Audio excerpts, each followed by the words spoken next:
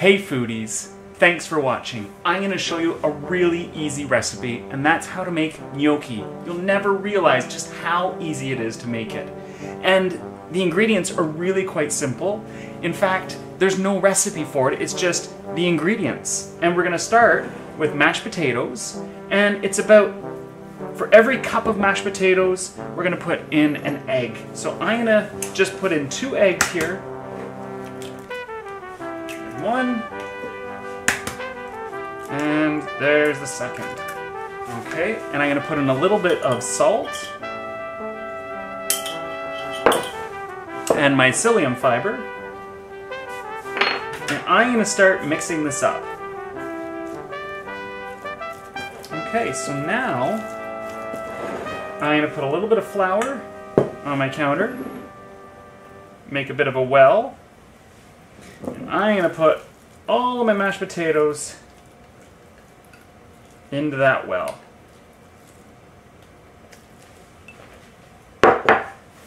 And now we just start working it. Oh, I need a bit more flour.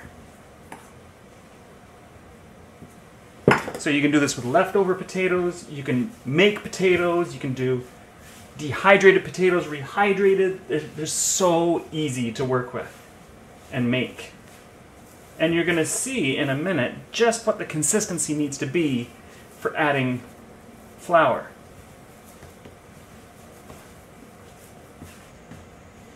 There we go. You can see the consistency that I've got here. It's almost like pastry. It's a really nice consistency and add a little bit more flour.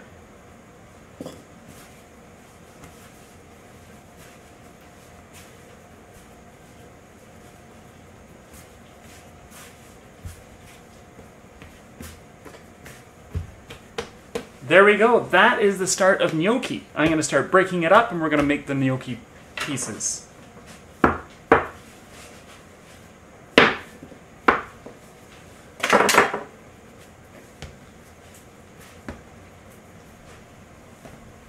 Set those aside.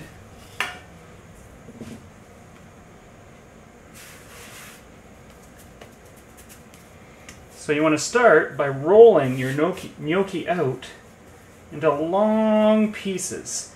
And I'm not pushing it out, I'm just rolling it flatter and flatter and flatter so that the logs do, do roll out.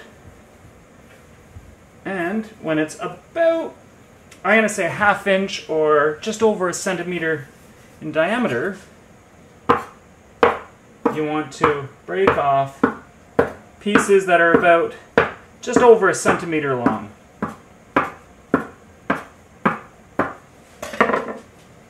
Now from here is where you're, you can be creative. You can take these pillows and you can put them on the, cut side and you can squish them down with a fork and there's your gnocchi. Looks beautiful. And you can see just how quick it is to do that. Oops, that one's a bit tall.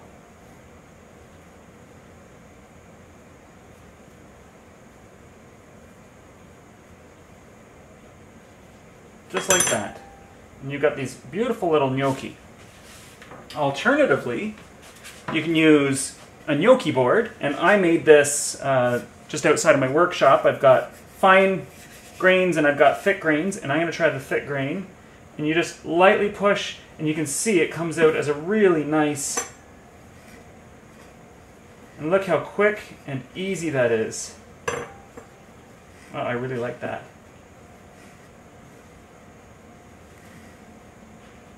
And let's try the thinner side. So I'm going to put these aside. Oh, these are beautiful.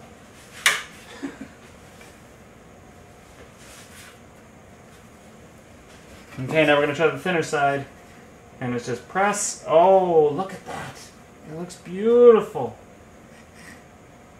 These are probably a little on the big side. Now, what you want is, with all these ripples, is you want these to catch all the, the, the sauce and the goodness from, from the, the pasta sauce that you've made. And you can see, with my thumb, I'm also creating a bit of a well so we've got the ripple on the one side and the well on the other side. What a wonderful thing.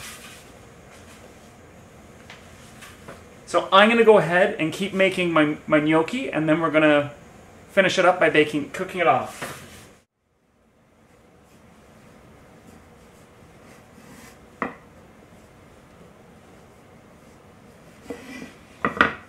There we go, look at that. I've done all of this gnocchi in about 10 minutes.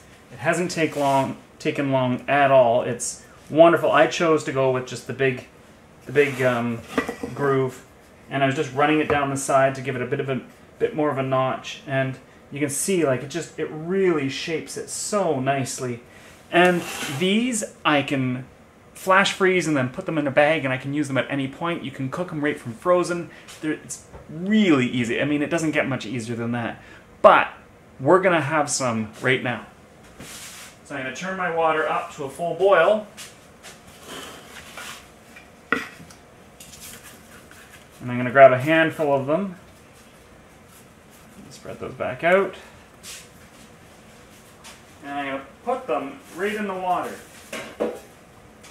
And you're going to know when they're cooked when they start to float.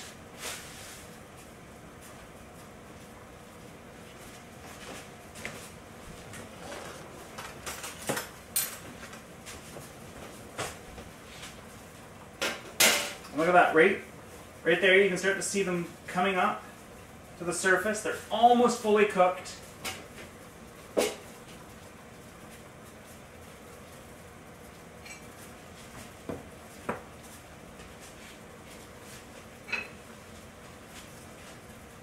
And there we go. That's about 30 seconds. And look at them when I pull them out. Like they just, they look like little pillows. They're just gorgeous. Now, if they were from frozen, they would take a little bit longer because you have to thaw them out a bit in the hot water. And I'm going to put some of my homemade tomato sauce on top. If you're looking for the tomato sauce recipe, you can visit the link in the description below. But let's try this. Let's see what it's like. Mmm.